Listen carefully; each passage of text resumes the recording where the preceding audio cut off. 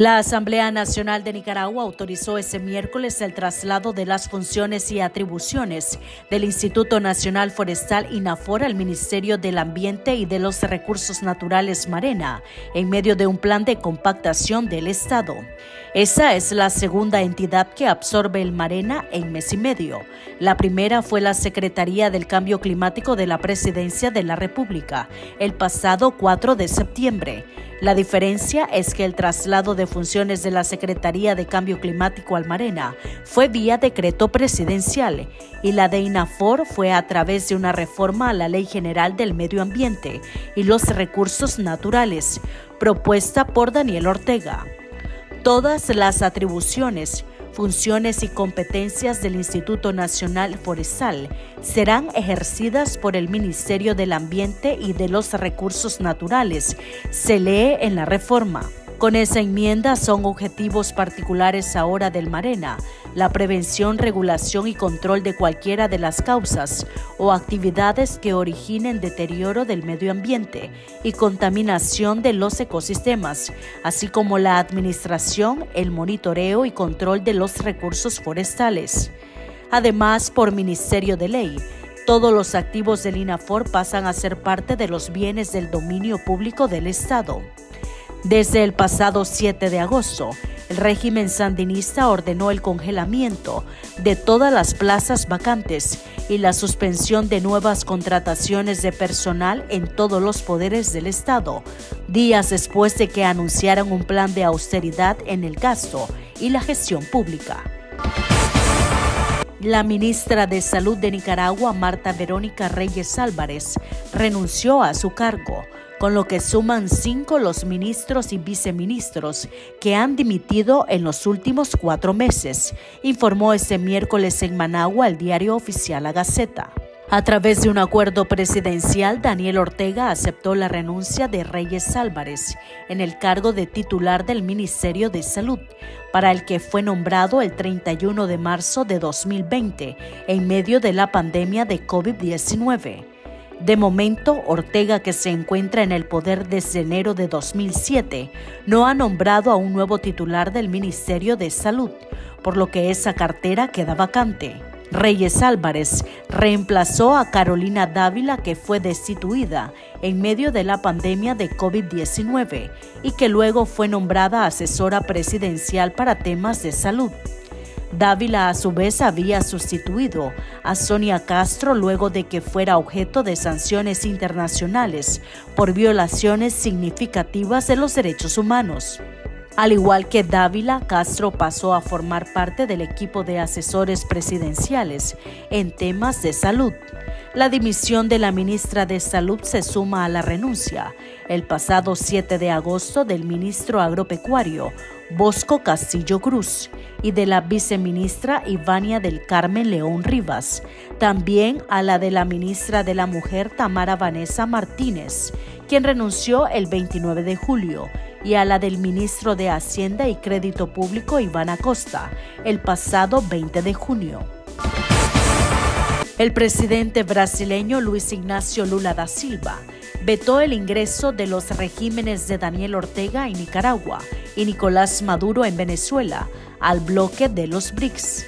Según el medio brasileño TV Globo, el gobierno de Brasil ejerció presión política para que ambos países no fueran incluidos en la lista de posibles nuevos miembros.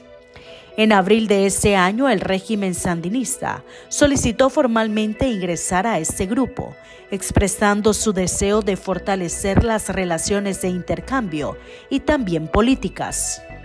Para el ex embajador de Nicaragua ante la Organización de Estados Americanos OEA, Arturo Macfield, el rechazo fue una humillación total al régimen de Ortega Murillo. Por su parte, el analista político Félix Maradiaga expresó a 100% Noticias que la presión ejercida por Brasil debe entenderse como parte de una estrategia más amplia y pragmática para fortalecer la legitimidad y el peso económico del BRICS, y no como una revancha personal de Lula da Silva. Brasil, como miembro fundador de los BRICS, vetó a las dictaduras de Nicaragua y Venezuela, les dijo no Es una dulce venganza de Lula tras las humillaciones de la dictadura de Nicaragua y los insultos, sobre todo emitidos por Ortega. Ortega está acostumbrado a insultar, a humillar y a salirse con la suya, pero Lula le respondió de una forma muy sutil, eh, pero a la vez contundente, dejándolo fuera de los BRICS. Fueron humillados, regresan con las manos vacías y el rabo entre las piernas no fueron a hacer nada a la cumbre de los BRICS, fueron a ser humillados, fueron ignorados y no fueron considerados dentro de los grandes actores eh, de la escena mundial, como India, como Brasil, eh, como el mismo Rusia y China. Entonces ahí hubo un golpe contundente a la dictadura de Nicaragua que se cree algo siendo nada en la escena internacional. La espera acabó. Las mejores promos en tus smartphones favoritos ya se terminaron de cocinar y quedaron en su punto. Aprovecha el nuevo punto rojo de Claro. Lleva tus smartphones Samsung, Honor o Motorola favoritos y recibí hasta 40% de descuento. Visita tu centro de atención al cliente más cercano y aprovecha los super descuentos del nuevo punto rojo. ¡Claro que sí! El premio Cervantes 2017, escritor y político nicaragüense Sergio Ramírez, dijo que se siente muy seguro de que la inteligencia artificial nunca va a ser capaz de sustituir a la lengua literaria y que no hay que tener miedo a esa herramienta. El premio Cervantes 2017, escritor y político nicaragüense Sergio Ramírez, dijo que se siente muy seguro de que la inteligencia artificial nunca va a ser capaz de sustituir a la lengua literaria y que no hay que tener miedo a esa herramienta. En América Latina, en Hispanoamérica, el español se expande con un enorme ímpetu hacia el norte. Los Estados Unidos es ya la segunda lengua que se habla pronto habrá millones de parahablantes más dentro de los Estados Unidos. Y bueno, eh, una de las grandes ventajas que tiene el español es que tiene una gran unidad en la diversidad. Y hablamos un español de acuerdo con cada región, en el Río de la Plata, en San Antonio, Texas, la península, eh, en Centroamérica, en el Caribe, cada uno con sus propios matices, y eso ayuda a enriquecerlo hoy en día, pues eh, en lugar de una Real Academia Española, tenemos una asociación de academias de la lengua que tiene que vivir registrando miles de términos nuevos, que antes se llamaba americanismo, que hoy entran con derecho propio en, los diccionarios eh, oficiales. Porque no solo eh, el español como lengua de primera lengua, sino también como una lengua que se usa como instrumento de, comunicación.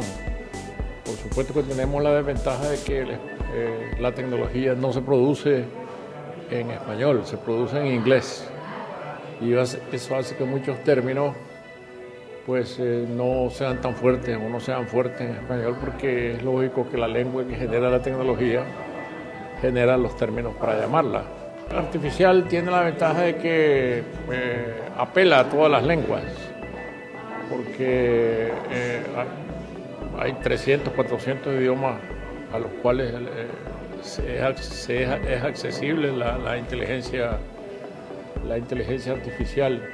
Creo que este es un instrumento de la civilización al cual no hay que tenerle miedo. las grandes invenciones siempre transforman a la sociedad. Eh, yo como escritor me siento muy seguro que la lengua, que la inteligencia artificial nunca va a ser capaz de sustituir la lengua literaria. Eh, va a sustituir la lengua técnica, obviamente, las traducciones técnicas, pero no la lengua literaria creativa. En ese sentido, eso es una obra de los seres humanos. la palabra tiene poder por ser lengua, ¿no? por, por ser parte de una lengua hay que saber usarla como instrumento de comunicación, como instrumento de creación, eh, es lo más importante. Muy bien. Apareció en enero de este año El Caballo Dorado y estoy ensayando los primeros pasos para una nueva, una nueva novela. Madrid es un lugar para mí muy eh, benéfico para escribir, puedo dedicarme a escribir, que es lo que es mi oficio. Y adelantar un argumento porque, cuando uno habla de los libros que ni siquiera he empezado puede llegar a frustrarlos. Ya, pero bueno, ¿qué será? ¿Cuál de sus...? Pues es una novela de mi serie de, de policíaca del inspector Dolores Morales. ¿Para cuándo le gustaría tenerlo? Bueno, vamos a ver, eso depende del tiempo para trabajar. Una novela se necesita por lo menos un par de años.